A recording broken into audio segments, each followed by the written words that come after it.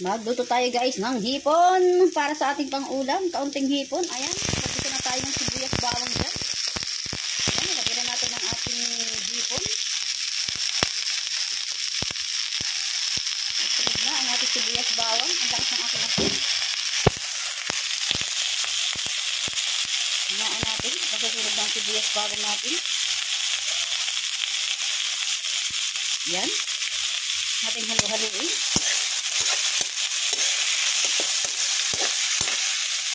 Dahil madali ito guys ma-overcook, lagyan na natin yan ng ating pangmalakasang soda.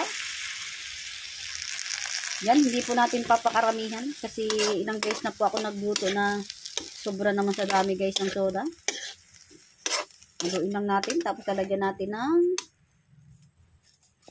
Tada! Ajinomoto!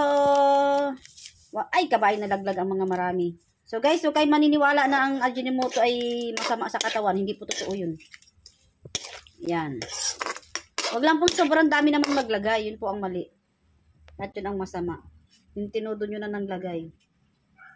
After natin siya guys malagyan ng pampalasa, ay lagyan din natin guys ng asin. Kasi nalimutan ko itong lagyan pala ng asin. Late ko nala nalaman na wala palang asin. And then pakukuluin lang po natin siya hanggang sa kumati na po yung ating soda. Para maluto din po ng ayos yung hipon. Ayan guys, kumati na siya. So luto na siya. Aahunin na natin siya.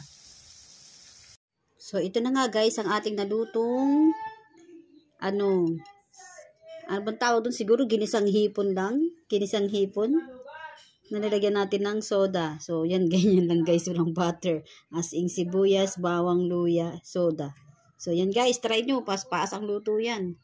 Sadyang hindi ko guys tinanggal to. Ako'y natutuwa.